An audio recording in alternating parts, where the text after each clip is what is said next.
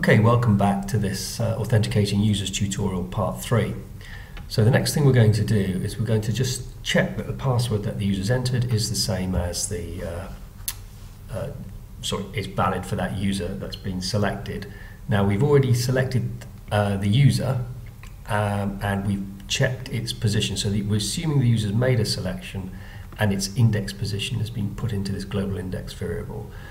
Now what we need to do is to check that index variable against this user password's index position. So what text is in the same index position. We're going to do that with an if then else block. Okay, so here we go. So if, you know, put a little else on there as well, because if it's invalid we want to tell them.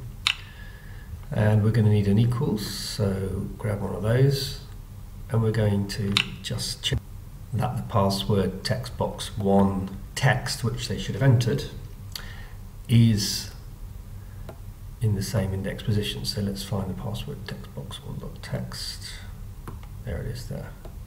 So what have they entered in that password text box 1? Is it equal to what we expect it to be in that position? So we need a list select for this and we're going to use this one here. This is very important because if you like this is the core of this chunk of program. We're going to check the list item from the passwords list so uh, that's going to be in that get global passwords so we need to grab that first of all so we'll do a get global passwords because that's where it is and we're also going to need to see the position we're going to find the position of, of, it in there and we use that global index now in order to do that. So we do a get global index. So there we are. Pop that in there. So is the text in in that they've entered the same as the one in, in the position for that user in the passwords field?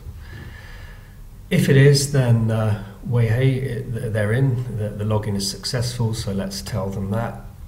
We're going, yeah, valid user. So, valid user.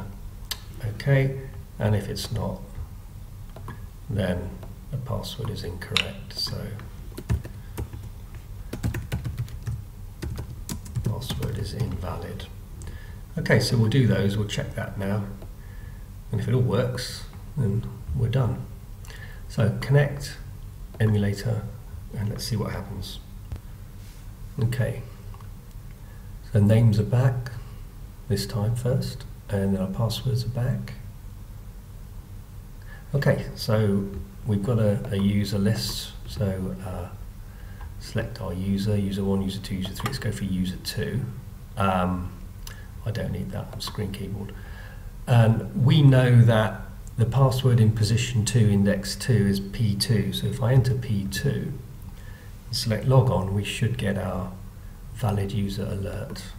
And there it is. Excellent. Of course, to test this, we need to check for an invalid one. So random letters, log on, password invalid for that user. Finally, let's just select another user, user 3 enter a valid password for user 3, which we know is P3, because that's the third one in our list. Log on, valid user.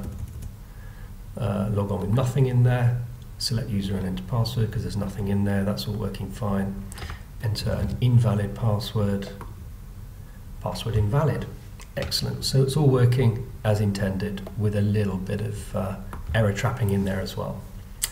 Okay, that concludes the tutorial for authenticating users it's really important that you uh, get to grips with what this chunk of uh, code is doing here. As I said, you must know what this select list item list is doing and index is doing. So have a play with that and good luck. Bye.